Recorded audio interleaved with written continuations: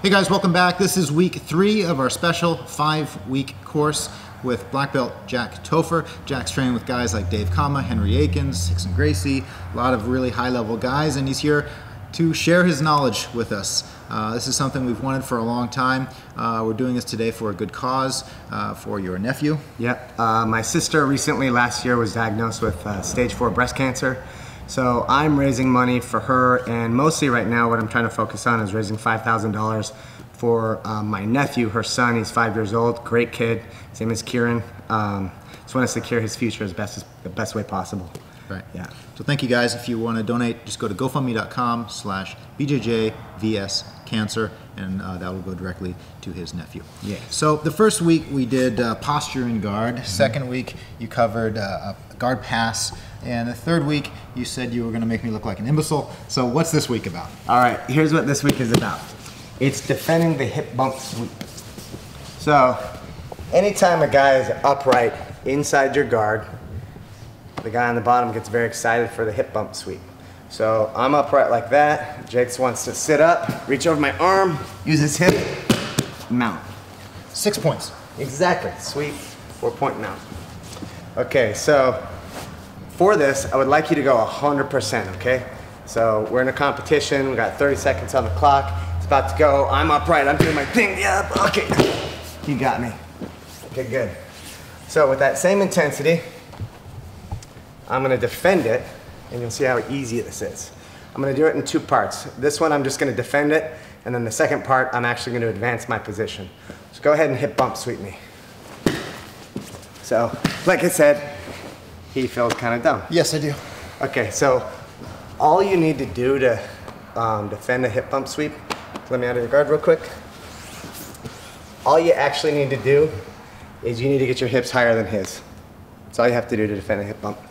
So as he goes and he starts to sit up, you know the hip bump sweep is coming.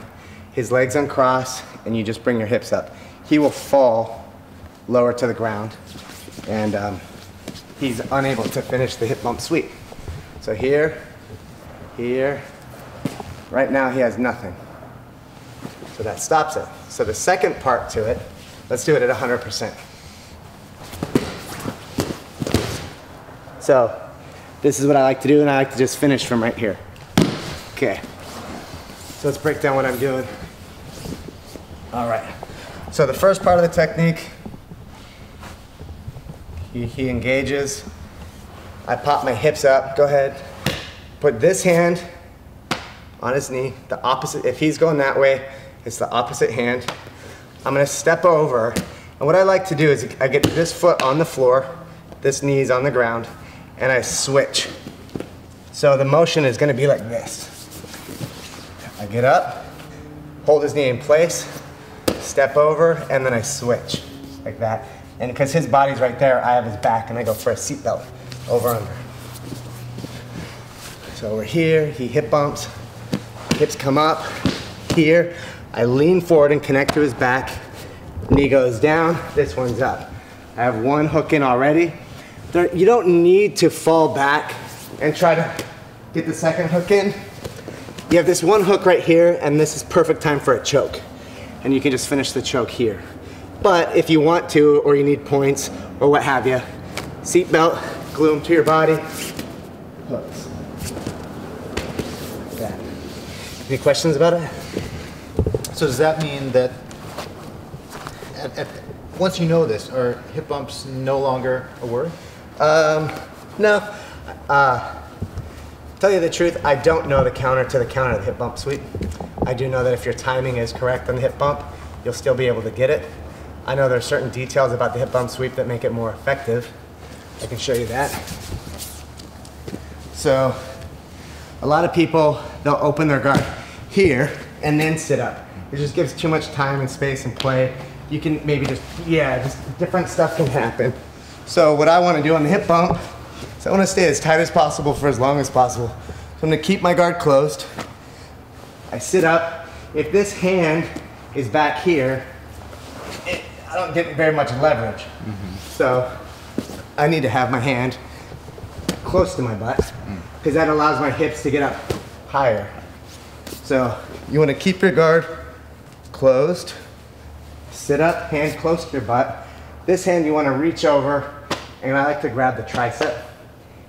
Feet then cross, and then I can get a lot of leverage on the hip bump. Very good. Yeah. Um, and also, you know, this you're basing this on having good posture in the guard. But sometimes, if you're going for a guard pass or something, your posture might be broken.